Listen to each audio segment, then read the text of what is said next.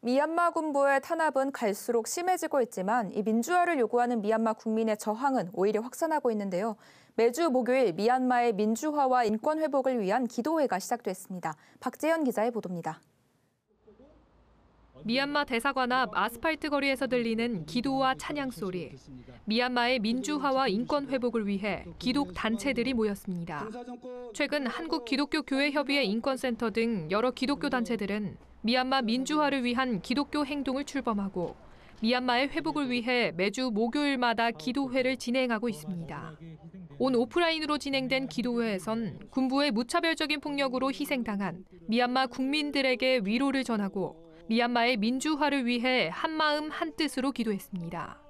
주여 미얀마 군부가 참여하게 하시고 하루속히 제자리로 돌아가게 하소서 자국민을 향한 총구를 지금 당장 거두게 하소서 주님 우리의 기도를 들으시고 응답하여 주옵소서 이날 말씀을 전한 한국 기독교 민주화 운동 정진호 목사는 미얀마의 민주주의는 국민의 힘으로 이루어져야 한다며 민주주의를 향해 오늘도 힘겹게 싸우고 있는 모든 국민들에게 다시 한번 연대와 응원의 메시지를 전한다고 밝혔습니다.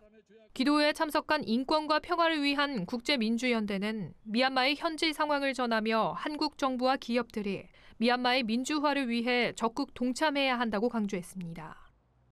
우리의 기업들이 지금 그곳에서 수익이 나고 안 나고의 문제가 아닙니다. 단 한 명의 목숨이라도 구할 수 있다면 하지 못할 일이 뭐가 있겠습니까? 저는 정부와 기업이 미얀마 군부를 향해서 분명한 메시지를 전달해 줬으면 좋겠습니다. 미얀마 민주화를 위한 기독교 행동은 4월 말까지 미얀마 회복을 위한 모교 기도회를 진행합니다. 미얀마 국민들을 지원하는 모금과 연대를 위한 다양한 모임 활동도 계획 중입니다. 구티비 뉴스 박재현입니다.